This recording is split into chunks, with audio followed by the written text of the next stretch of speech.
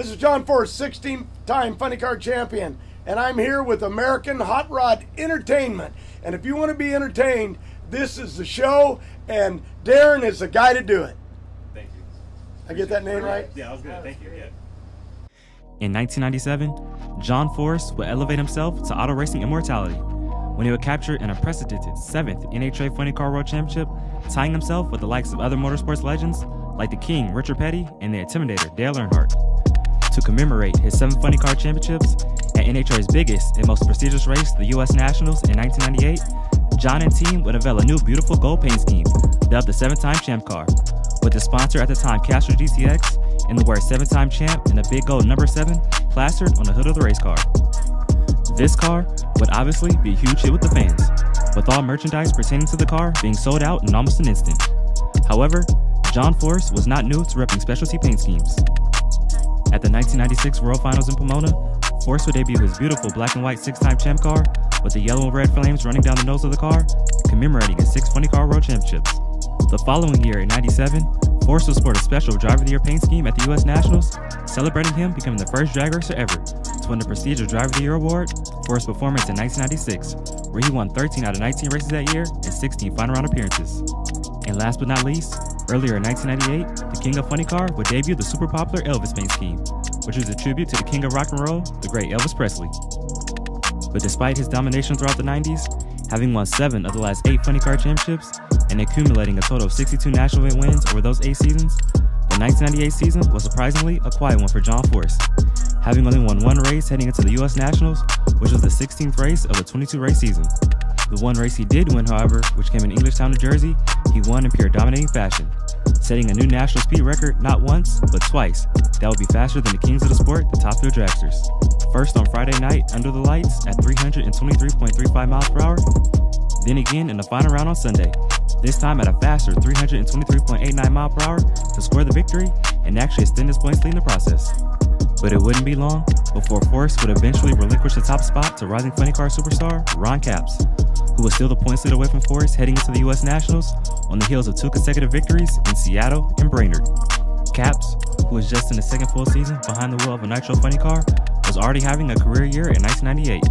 Driving for the legend Don Prudhomme, Capps would rack up a total of four wins and six final round appearances up to that point that season, including two final round victories over Force in Dallas and Seattle.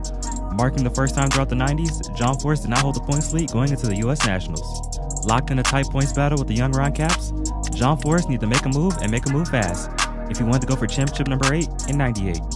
Well, at the wheel of his new beautiful gold race car at the Big Go, John Force, crew chiefs Austin Coil and Bernie Fedderly, and the rest of the Castrol GTX Ford Mustang Nitro Funny Car team would head into final eliminations on Monday morning on a mission.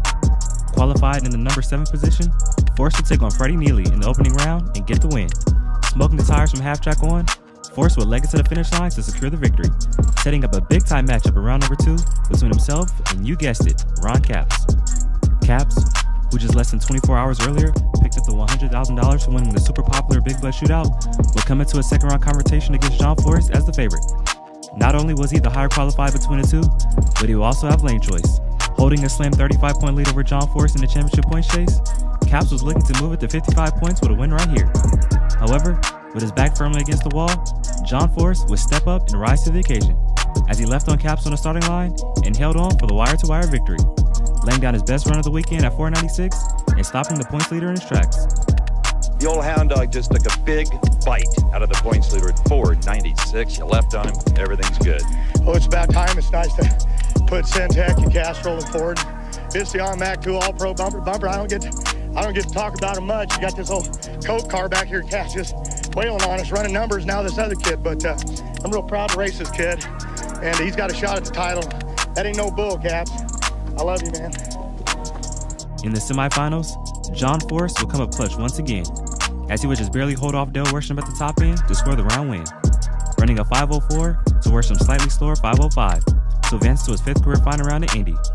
And oh yeah, he would take over the points lead from Ron Capps as well. In the final round, Force would now be just one win light away from capturing U.S. Nationals glory once again, as he looked to claim his third crown at NHRA's most prestigious race in just the last six years.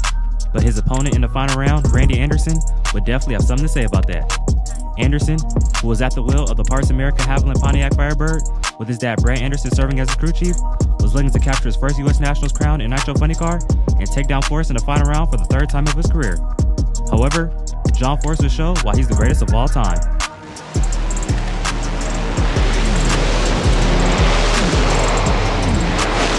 John Force at the stripe. Randy Anderson had him covered, and John Force runs 499 306 to get the win. Let's go to the starting line. For the third time in his illustrious career, John Force was the U.S. Nationals champion, as Anderson would get the advantage over Force on the starting line, but John Force would drive around him at the top end to score the win, picking up his second win of the season and taking a slim 25 point lead over Ron Capps heading into the next race in Maple Grove. Oh, it's a golden moment down here. John only had one victory this year, and that's not much for him. But win winning Indy, that's like winning another half a dozen of them. Golden moment for just an old man. I tell you what, all my sponsors, Visteon and Mac Tool, this gold car with Castrol, this action car. I ain't ever won a race with a special car, and this gold car was really special. At my seventh title. Don't know if I ever get another one with that Capps kid, but man, I'm excited. All pro bumper to bumper. The fans that stood by me, I'll tell you, it was like they just kept saying, "You ain't too old, and you ain't washed up, and go after that young kid." And, and I kept doing it and doing it. And Coil found house power. Where's the house power? He found something.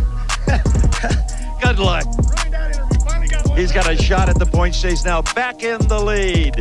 Although Capps will pick up a huge win late in the season in Topeka, Kansas, after coming off back-to-back first-round losses in Reading and Memphis following the U.S. Nationals, John Force, still behind the wheel of a seven-time champ go car, will respond once again, defeating Capps in the semifinals at the third-last race of the season in Dallas, with the championship hanging in the balance, then going on to win the race, picking up his third and final win of the season, and putting a stranglehold on the Funny Car points lead before finally clinching his eighth Funny Car World Championship at the season finale in Pomona.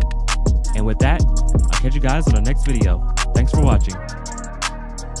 If you like this video, leave a like, comment, and subscribe for more great NHRA content.